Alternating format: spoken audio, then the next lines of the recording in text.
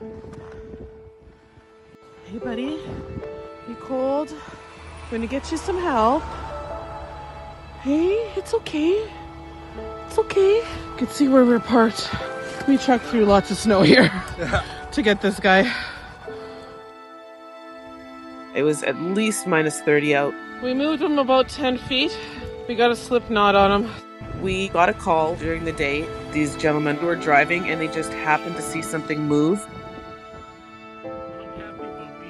She had been in the area for a little while because she was trying to burrow and make nests.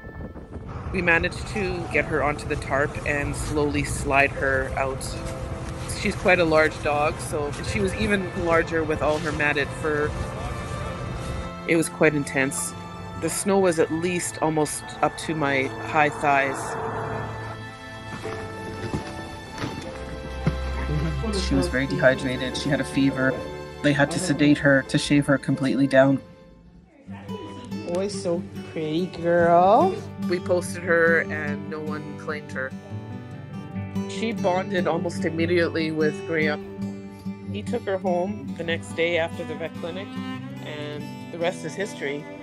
Everybody's sleeping very nicely, watching me work. It appears we found a new place to sleep. Hey?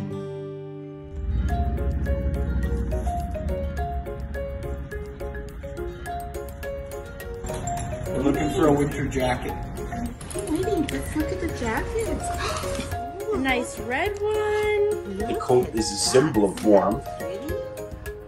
Because of the situation she came from, what we hope for her is that she'll always have that now.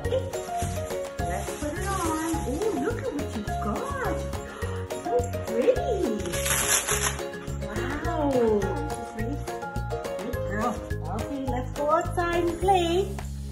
Let's go run in the snow. The first time she went outside running and playing, that was when I first realized I don't think she's ever been able to do this before. What are you doing?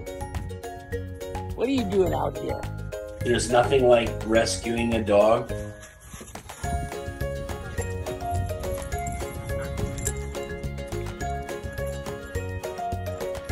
Winnie is enjoying her nice warm place by the fire.